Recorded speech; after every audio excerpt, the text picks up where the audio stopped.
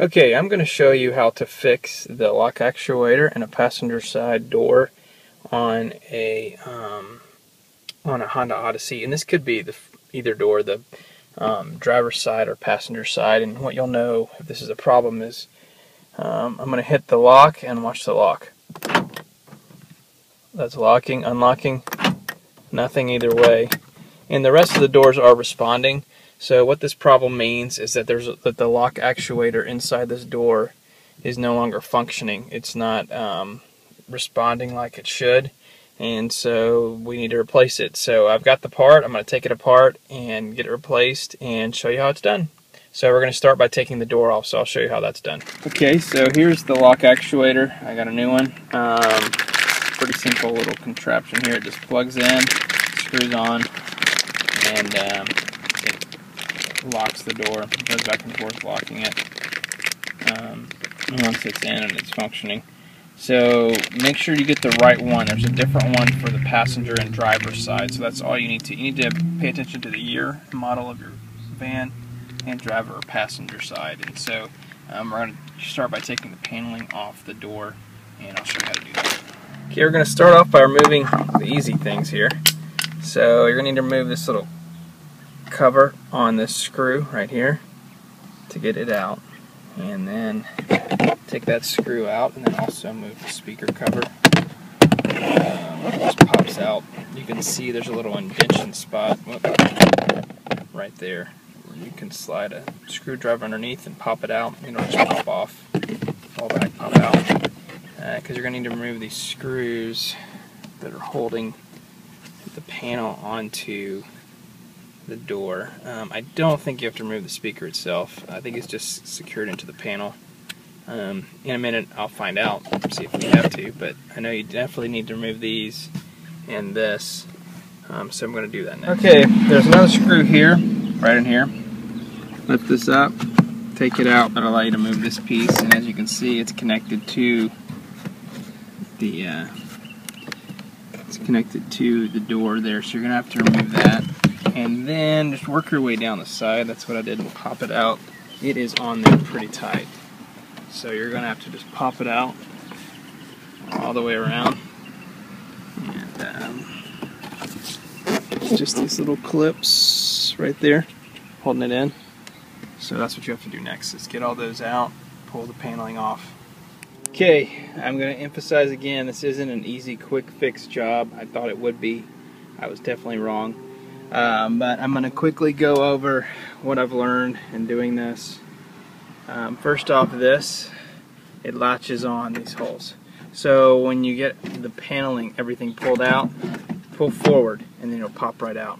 That's what you need to do. Don't sit there and pull on it because you'll break these little hinges. You're just going to pull forward, pop out. Um, then uh, pop this out of here the whole thing is getting access to it and getting as much things disconnected as possible, which makes it that's what makes it difficult. Disconnect this um, there, disconnect this, and disconnect the lock. Um, we have to disconnect here, um, which is going to the key, and this is going to the lock actuator. So you're going to disconnect this.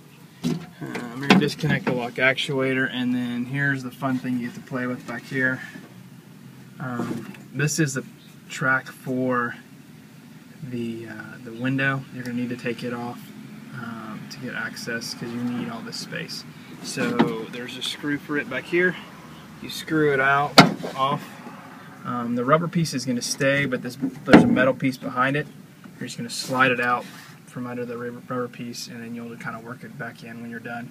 So take that out. Um, I had to, I ended up undoing all three of these bolts that are here, here, and there, and there's an access for that one there. You may not have to. What you need to be able to do is, see that green piece right there?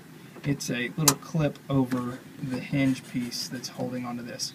You need to flip it up, pull that piece out. If you can do it without removing this piece and removing that, go for it. I had to remove this piece and unscrew that take this lock part off to be able to get to that to hook it out. Um, then that's the whole lock system you need to get out. So you unscrew these three here. They're very tight. Um, then you're going to pull this out, unscrew the lock actuator, pull it out, unplug it, down there, right here. Plug the new one back in, reassemble everything. Um, again, it's not that replacing the lock actuator itself it's so hard, it's just that getting to it is so difficult that makes this a difficult job. So it's going to take you a while. You're just to have to get all those pieces out and then put them back together. Um, it's all interconnected, so it just takes a while. Best of luck to you.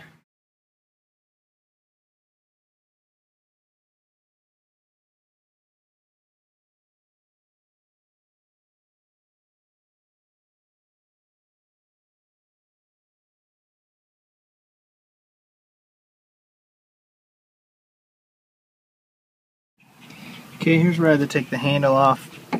There's three bolts there, there, and then there's a cut black cover over this. Really get access to the third one, and you need some kind of extension. Um, it looks like it is 10 millimeter.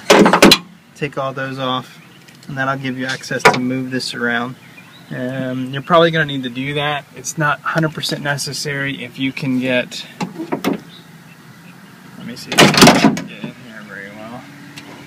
You can get the cover off the lock and remove this piece right here, which is connected right under the other side of the lock. I can't get to with the camera. Um, it just kind of there's a little green tab on it. You pop it off, pull it out. That'll give you a little more access, um, but if you want to be able to really pull this thing out and get to it, you might need to undo this. Maybe not. Um, it's just giving you more access. So removing these three screws out here, moving that key cover, the lock cover, and pulling this out, and then that's going to give you access to this to pull it out. Um, and then it has a little case on it. So you're going to need to unscrew that screw, that screw, so I get to focus. That screw, that screw, and that screw. This removes the lock actuator, these three, and this one up here removes this plastic cover so you can see what you're doing. Um, just a caution, mine had this little adapter piece inside of it, so I took it from the old one and put it in this one, this little light colored white piece. Yours may, may not. Um, this plug doesn't do anything, it's not plugged into anything. Um, just this one. So that's how you do it and then reassemble it. So hopefully that'll help you guys. Sorry, I was turning that sideways, wasn't I? Um, okay, I've replaced it and put the new lock actuator in. There's the new one right there. Um, this is a very, very difficult procedure because I had to do way more than I thought. I had to end up taking off three screws here to remove the entire lock system and kind of pull it out. There's a case that's over the, the lock actuator. You got to remove by removing a few screws and removing it from there. Um, I had to loosen the door thing. It's the door handle and pull it out. And where the lock is, it's all interconnected. So you've got to get all this whole system out to get access to this, to flip it over, to get it out and get a new one in. Uh, it's pretty difficult actually. Um, it's nothing like the side door. It's not impossible. It's just going to take a lot of work. Um, and because of the amount of work it took, I wasn't able to record every step. So um, putting it back together now and um, it should work.